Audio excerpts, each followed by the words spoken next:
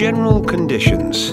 Pipettes should always be cleaned and in perfect working condition. All temperatures, room instrument water, should be stabilized between 20 to 25 degrees Celsius, relative humidity between 50 to 65%. Use distilled water grade 3, ISO 3696. Use analytical balance with digit number in relation with measured volume. 5 digits for volumes over 25 microliters, 6 digits below 25 microliters.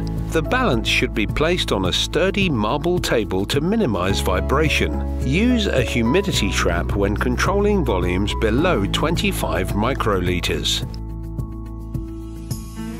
Use a new tip. Rinse the tip two or three times on nominal maximum volume.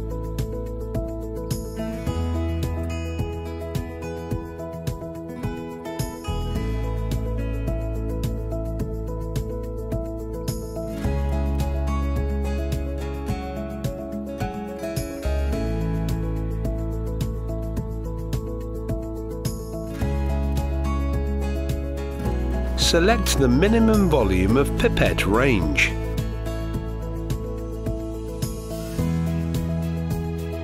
Aspirate slowly the sample. Tip should not touch the reservoir wall.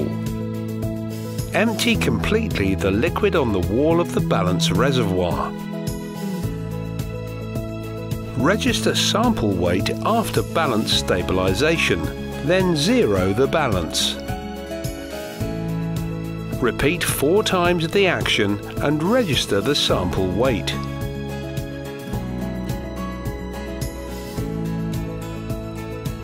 Select the maximum volume of pipette range and repeat five times the sequence of actions.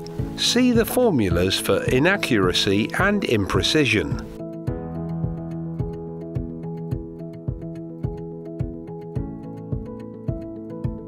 Once the operations are concluded, compare inaccuracy and imprecision results with values recommended by the manufacturer and verify if are within specifications. If are out of specifications, it will be necessary to perform instrument calibration.